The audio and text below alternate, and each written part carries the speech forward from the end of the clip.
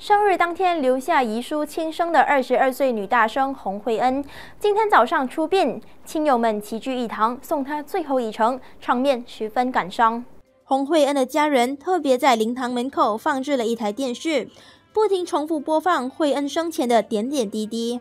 许多亲友们聚在电视前追忆慧恩，慧恩生前的好友们也到来送别，他们和往常一样一起大合照。只是这回是在灵堂和惠恩的遗照合影，人事已非，令人不胜唏嘘。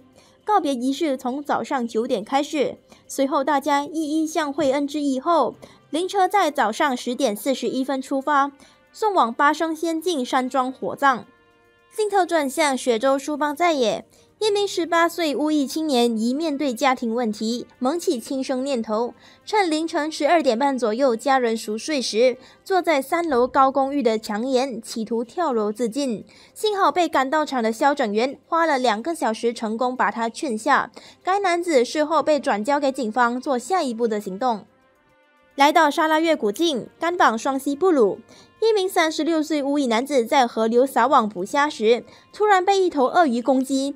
他的左小腿被紧咬，腹部被抓伤。正当鳄鱼要将他拖下水时，男子在紧要关头用手指插爆鳄鱼的眼睛，得以在血盆大口中保命。